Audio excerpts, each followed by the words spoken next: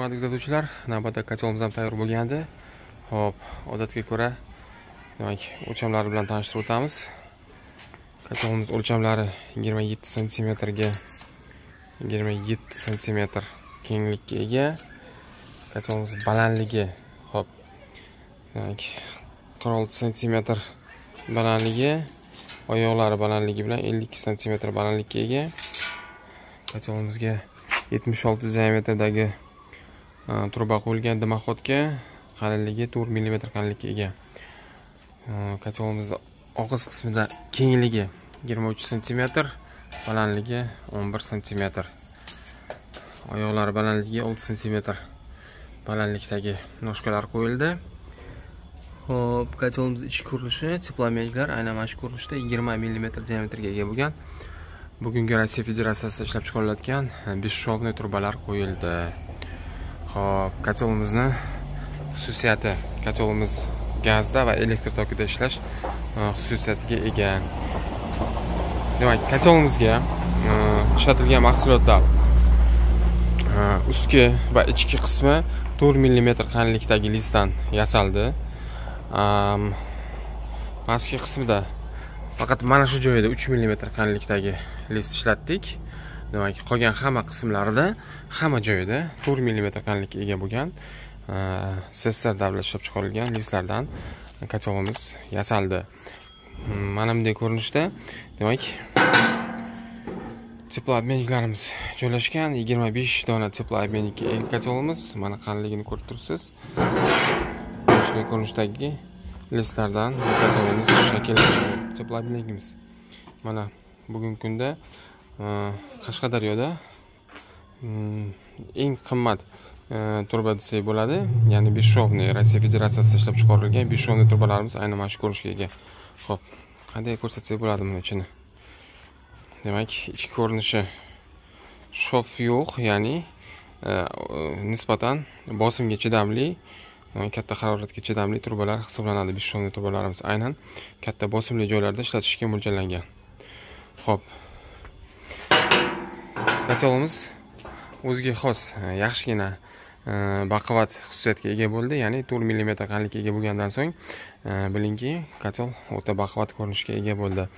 Yaxshigina vazn ham orttirib oldi. Ya'ni kotelimiz og'irgina vaznga ega. Bu kotel nisbatan mm, sun'iy tizimlarda yoki bo'lmasa yuz ellik kvadrat metr joygacha bo'lgan ochiq tizim uchun ishlatish mm, maqsadida yasaldi.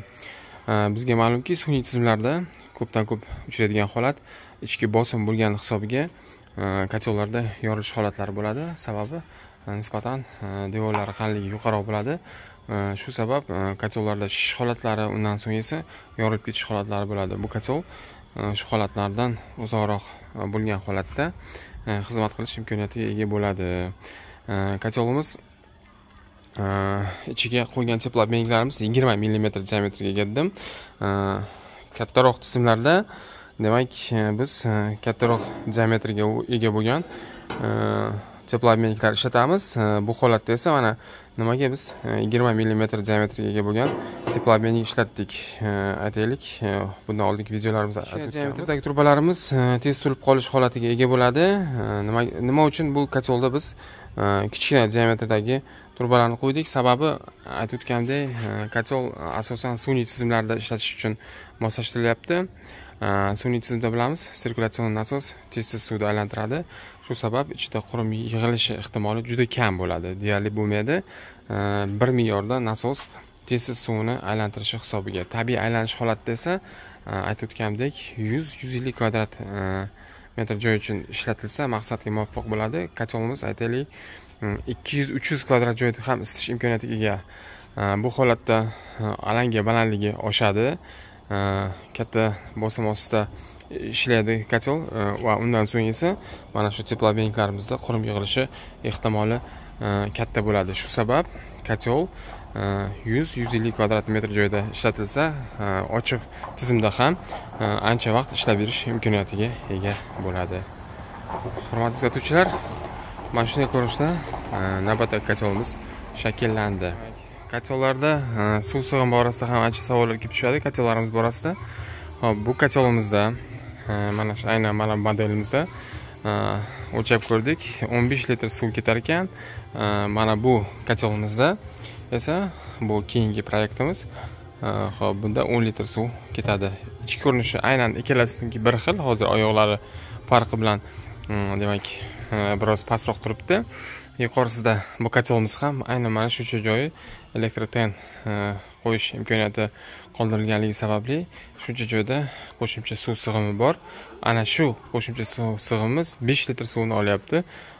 Qolgan qismi esa teploobmenniklarimiz devorlar oralig'idagi masofalar uchun qoldirilgan joyda o'n litr suv ketyapti. Buni bu kotelimizni yasash jarayonida keyingi videolarimizda ko'rsatib o'tamiz.